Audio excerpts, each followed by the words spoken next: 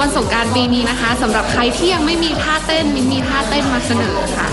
รับรองว่าเด็ดแน่นอนชื่อท่าว่ามือสวัสดเราต้องท่าขาคว้างน